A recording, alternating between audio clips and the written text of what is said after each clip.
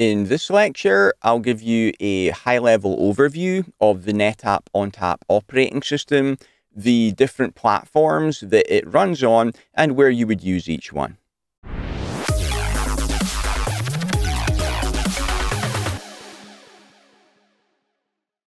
ONTAP has evolved from NetApp's original operating system way back in the day when the company first started and it's still their most popular and widely deployed operating system. The different platforms that it can run on now are FAS, AFF, ONTAP Select, Cloud Volumes ONTAP, and NetApp Private Storage. I'll give you an explanation of each of those platforms in the lecture here. Basically, the differences are, is ONTAP running on hardware or as a software virtual machine, and is it on premises or in the cloud? All of the different ONTAP platforms have got practically identical features as far as the software is concerned and are managed the same way. A benefit that you get from this is if you've got multiple different platforms running in your enterprise, you don't have to learn a different operating system. You don't have to learn a different administrative interface. You can manage them all exactly the same way. So that makes your life much easier as an administrator. ONTAP supports multiple varied workloads over a multitude of supported SAN and NAS storage protocols, and it has got advanced features. So you'll sometimes hear ONTAP being called the Swiss Army knife of the NetApp portfolio. It can support pretty much any workload and it's got all of the advanced features to help with that as well.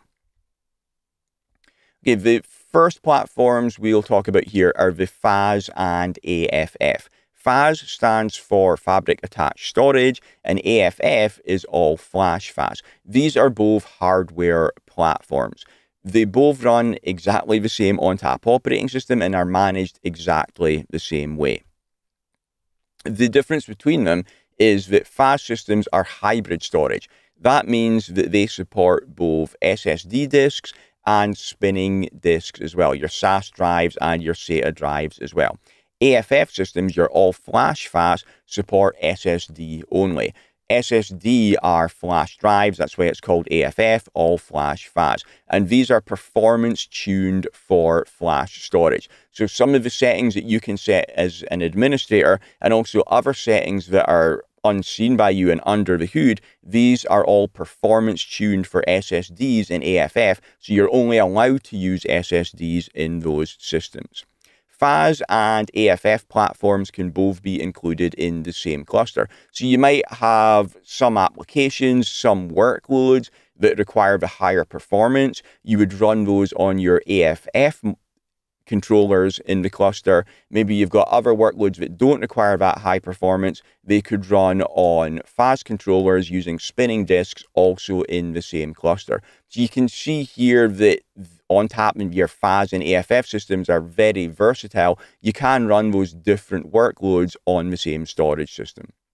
Depending on the controller model with these hardware platforms, a cluster supports up to 12 nodes, that's 12 controllers. If you're using SAN protocols on there, or if you're using SAN and NAS, if you're using NAS only, then it supports up to 24 nodes. That depends on the model of the controller, though. Higher end controllers support that number. The lower end controllers, you're going to be able to support less nodes in your cluster. So let's have a look at these FAS and AFF platforms, have a look at what they look like. So to get here, go to the NetApp website and on the NetApp website, click on products here. This is where you can find all the different NetApp products. And AFF is under all flash storage. It's the AFF A series here. FAS is under the hybrid hybrid flash storage, and there is FAS there.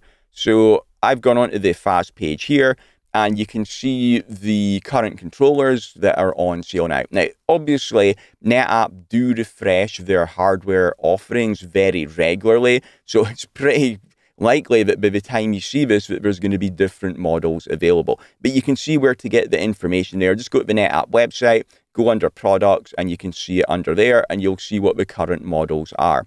So you can see for FAS, there's currently three different models that are available. The difference between them is for the, the capacity and the performance. So if you get the FAS 2700, that goes up to 17 petabytes of raw capacity. The 8200 is 57 petabytes, and the 9000 is up to 138 petabytes. The performance scales in line with the capacity as well. So depending on how much capacity and performance you need, that will guide you as to which actual model that you're going to be purchasing. I will go into that in more detail further on in the course as well. We'll go into a lot of detail about the different controllers. Also, I'll show you at that point the different ports that are on the back and what they do. Okay, so that was the FAS controllers, AFF. When AFF first came out, it actually ran on the same platform, exactly the same chassis as the FAS systems, and it was just basically a system that only had SSDs in there. But it has evolved since then, and there are a lot of settings under the covers that have been tuned by NetApp now. And also the actual chassis, the hardware is different for the AFF than it is for the FAS now as well. So you can also see your AFF platforms here. Again, the differences between the controllers, which one you would buy, depends on the capacity and performance that you require. Okay, so that was the FAS and AFF. Back onto the slides again. With your FAS, and AFF systems, you can add external disk shelves there as well. So some of those models, you can put disk shelves in the chassis.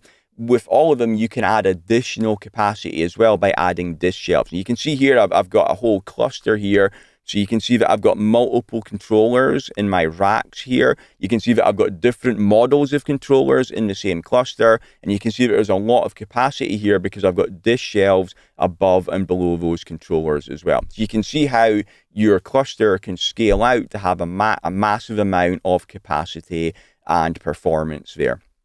Let's have a look and see where you would see information about your disk shelves. So I'll go back to the NetApp website again to find that, I'll show you that in a second because I'm on the part of the page here where you can see the different models of disk shelves here. Again, this gets updated over time as NetApp release new hardware. You can find out full information about the disk shelves here, what kind of disks they support, the maximum capacity, etc. To find that information, again, it is under products on netapp.com and disk shelves and storage media is down here. Okay, back to the slides again. So that was our FAS and our AFF and the disk shelves that can be attached to them. With the FAS and AFF, the use cases there, well, as I said earlier, it's they support multiple varied workloads over a multitude of supported SAN and NAS storage protocols, and it's got flexible features. So pretty much any workload. That can be enterprise applications such as Oracle Database, SQL, and VDI, your virtual desktop infrastructure. It does have the required performance for most database applications. It can be used for consolidation and virtualization. Because it's so flexible in the workloads that it supports, you can have multiple different workloads running on the same cluster. You can run artificial intelligence and big data analytics applications on there like Hadoop, NoSQL, and Mongo. And it's got a feature called FlexGroup, where you can have massive volume sizes on there. So if you've got an application that needs a huge flat namespace, such as an, an, engineering or design, where you've got loads of files or very large files that have to be in the same namespace, then you can use FAS and AFF for that as well. Okay, next thing that we can run ONTAP on. This is again on the, the FAS and the AFF storage there's a feature on there called FlexArray that allows you to use third party storage space behind your ONTAP controller.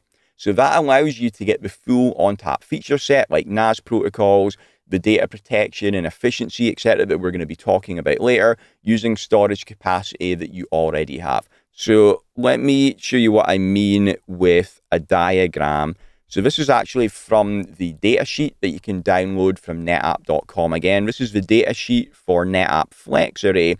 And you can see here that I have got a storage array.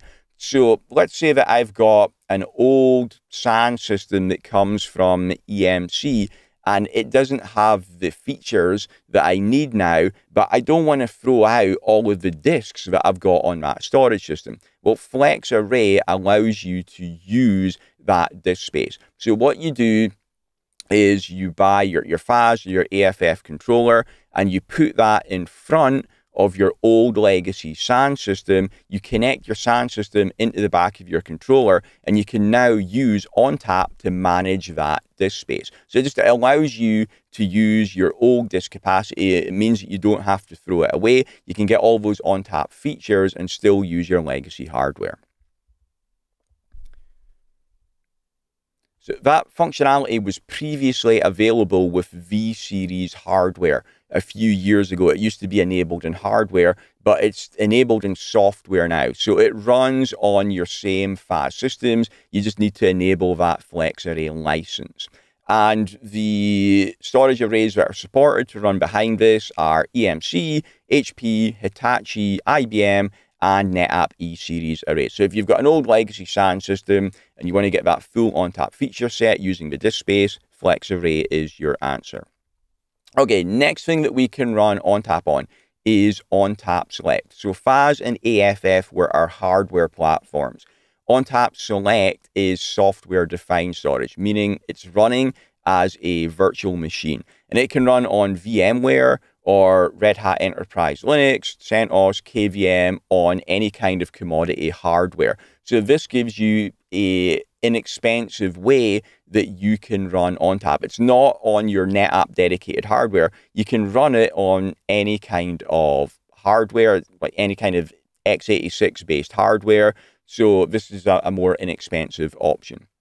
It's still managed the same as ONTAP on FAS using the same GUI and the same command line the disks that you're going to use with ONTAP Select can be in the same chassis that you're running ONTAP Select on, or it could be external. So there could be a, a NAS or a SAN system behind there that you're using for the disk space. With ONTAP Select, it's up to eight nodes in a cluster. Each node here is a virtual machine.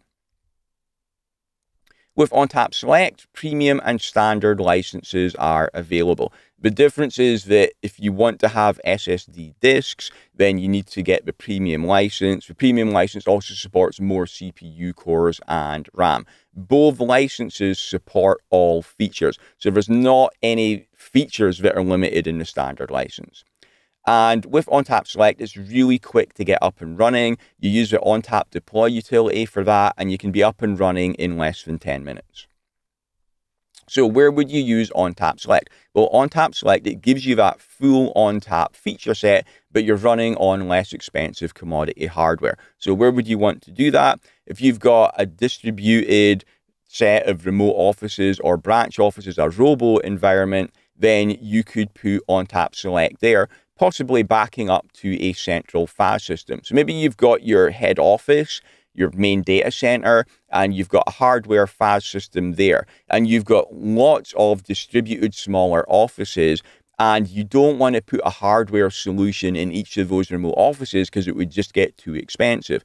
But what you can do is you can run ONTAP Select in your distributed offices and you can still back them up to your central location. Other places to use ONTAP Select. If you've got an all software defined data center environment, I know this can sound a bit strange, but it might just be your company's policy that they want everything to be running virtualized. So even your storage, you can do that with ONTAP Select. Maybe in your main data center, you want to have a, a quick, easy, inexpensive test dev environment, storage for that. ONTAP Select is a good use case for that. Disaster recovery. Maybe you don't want to have a full disaster recovery site, which is built up as much as your primary site. So you've got your primary site, you've got a hardware FAS or AFF in there, and you you build your own disaster recovery site, but it would be too expensive to put all the same hardware in there. What you can do is you could run ONTAP Select over there. So if the main site does go down, you can fail over to the remote site. You're not going to have the same performance there, but it's going to allow you to get back up and running quickly. Another use case for ONTAP Select is VNAS. This is a NetApp term What NetApp vNAS is, is ONTAP Select running as a virtual machine. And this can provide NAS support in a SAN environment. So, for example, if you've got some HCI, some hyper-converged infrastructure, and you've got your, your compute and your storage on there, and the storage is running a SAN storage, which is giving that to the compute. Well, if you want to have NAS support on there as well, you can run ONTAP Select as a virtual machine in your HCI environment, and you've now got NAS support there. So that was our ONTAP Select use cases. Next one to talk about is our ONTAP Cloud options. And before I start talking about them, it's easiest to talk about like why we have them, which is there's limitations with the public cloud storage options. So the, the main public cloud hyperscalers, AWS, Azure, and Google Cloud, they all have their own block, file, and object storage services.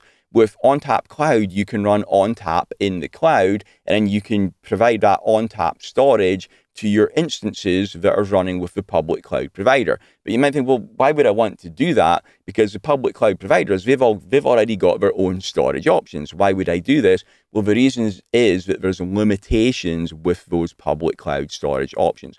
Limitations are that they've got basic snapshots and cloning capabilities the snapshots take up the same space as the original data. With ONTAP, it doesn't work like that. We're going to be talking about snapshots a lot later on in the course. I'll give you the full details then.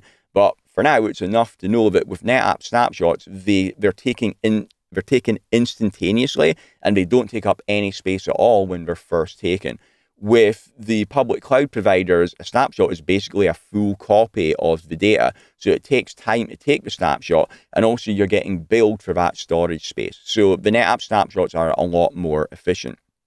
Another thing, if you need to restore from a backup with one of the public cloud backup solutions, they don't give you a recovery time objective guaranteed, meaning they don't guarantee when you're going to be back up and running again. Actually, in AWS, they say that it's going to be lazily copied back. Basically, that means that if you do need to restore the, or take a snapshot, it's going to take a long time to do that. With using ONTAP in the cloud, you're going to know exactly how long it takes to get back up and running if you do have to do a restore other limitation, there's no sharing of block storage. So if you're using one of those block storage options on your public cloud provider and you've got an application which has got distributed instances and they need to share that same block storage, it's not going to be possible. Also, file storage supports limited protocols, so your NAS protocols. AWS only supports NFS and Azure only supports SMB. What if you need to support both protocols?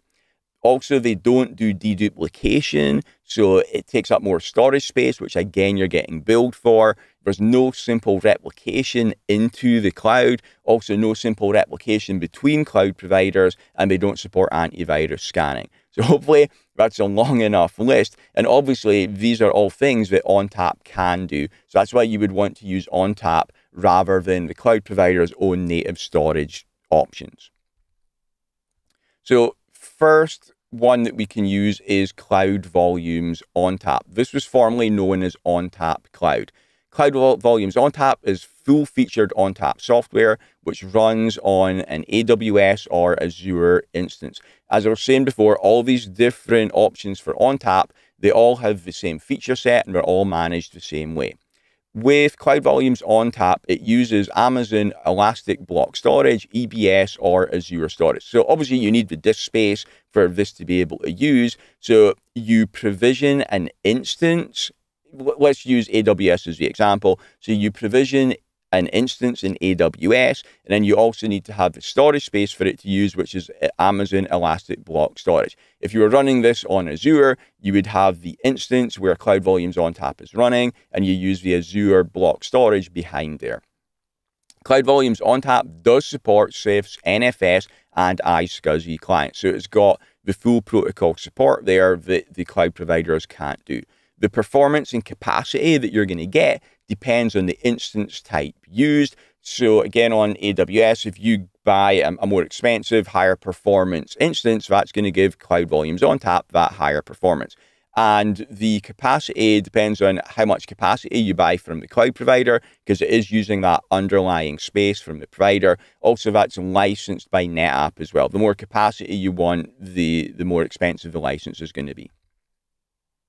So Cloud Volumes ONTAP supports all the ONTAP features. We will be talking about all of these throughout the course. Ones that are particularly relevant to running it in the cloud are the thin provisioning, the deduplication, and the compression. So it takes up less storage space, so that saves you money. Also, it does NetApp encryption. Now, with the cloud providers, you can have your storage encrypted, but it's encrypted by the provider. What if you don't support, what, what if you don't trust the provider? Well, when you do your, your cloud volumes ONTAP NetApp encryption, that's encrypted by you. So nobody, even the cloud provider, is going to be able to decrypt that and see what you've got in your storage. It supports SnapMirror and SnapVault, which are ONTAP's replication features. So you can replicate between your physical data center and your cloud environment. So that gives you backup and disaster recovery. It does FlexClone volumes. So if you've got a test and dev, environment and you want to be able to quickly clone your instances for testing, you can do that. And again, it doesn't take up any storage space originally because it's using NetApp snapshots. Supports all your NAS protocols. So if you've got workloads that require both SMB and NFS as well, you can run those on Cloud Volumes ONTAP. It supports high availability and you can tier your cold data as well. So with with the cold data tiering, when data has not been touched for a specific amount of time, you can move that off SSD, for example, onto lower performance spinning disks or over to object storage in the cloud provider. Again, saving you money. Cloud Manager is used to provision and manage the service. It can be run on premises on Linux, or it can be run as a very small instance at the cloud provider. So Cloud Manager is used for the original provisioning of this. You can also use Cloud Manager to configure your replication between sites and to create volumes and other basic tasks like that. You can also manage it the same as ONTAP on FAS. Again, like I was saying before, with all of these different ONTAP systems, you can manage them all exactly the same way. The use cases for Cloud Volumes ONTAP, disaster recovery in the cloud. So you've got your main data center. You don't want to go and have a disaster recovery building that you have to build yourself because that would be super expensive. This is a way that you can get less expensive disaster recovery rather than sending it to another building that you own if your main site goes down, then you can spin up instances in the cloud and you can be running in the cloud. You're going to be able to do that because you replicate from your main data center to the cloud environment, cloud volumes ONTAP. You can also move existing applications to cloud without re-architecting. Because it does support all of the different protocols, that's where you're not going to be able to, that's where you're not going to have to make any changes. It's suitable for test dev environments because of the fast provisioning and because you can FlexClones, you can quickly make clones as well. And another use case for this is VMware Cloud on AWS. You can run a private VMware environment in AWS now. If you're doing that, then Cloud Volumes ONTAP is a good choice for the storage. Okay, finally got to the last platform that you can run ONTAP on, and that is NetApp Private Storage. NetApp Private Storage is a FAS or AFF hardware system which is owned by you. It's hosted in an Equinix colo facility, a co-location facility, and that data center has got direct connectivity to AWS, Azure, and IBM SoftLayer. So with Cloud Volumes ONTAP, that was supported on AWS and Azure. NetApp Private Storage is AWS, Azure, and IBM SoftLayer. So by having your own hardware system in a data center which is cloud adjacent to your cloud provider, that gives you very fast connectivity to the cloud environment. And because it's running on your hardware, you've got full control of that hardware. So you've got full control of the hardware, and you also, again, get the full ONTAP feature set. You can connect to multiple cloud providers because Equinix is connected to all of them. That gives you diversity if you need it. Maybe you've got one workload where it's more suitable for AWS and another one that is more suitable for Azure. You can run both those workloads using that same shared hardware storage that you own in your colo data center. Also allows you to easily switch between cloud providers if you want to later as well. So use cases for NetApp private storage, high performance for your cloud-based workloads. Again, this is running on the actual NetApp FAS or AFF hardware, so you get that hardware performance there. It can be used for your cloud-based disaster recovery again, the same as we could with our, our cloud volumes ONTAP, but again, you're going to get the better performance. Another big reason, it meets privacy, regulatory, and sovereignty requirements. Maybe the industry that you're working in, there's regulatory requirements there that means that you can't use storage which is running in the, the cloud in software. Well, in that case, it's probably likely that you're going to be able to still have servers, machines running in the cloud that require external storage, but you use the NetApp NPS for that. And finally, another use case again is if you're using VMware Cloud on AWS, NPS can be a good choice for that. Thanks for watching. If you want to get hands-on practice with NetApp storage for free on your laptop, then you can download my free ebook, which you can see above my head right now. Also check out my NetApp Storage Complete course, which will teach you everything you could possibly want to know about ONTAP. Thanks.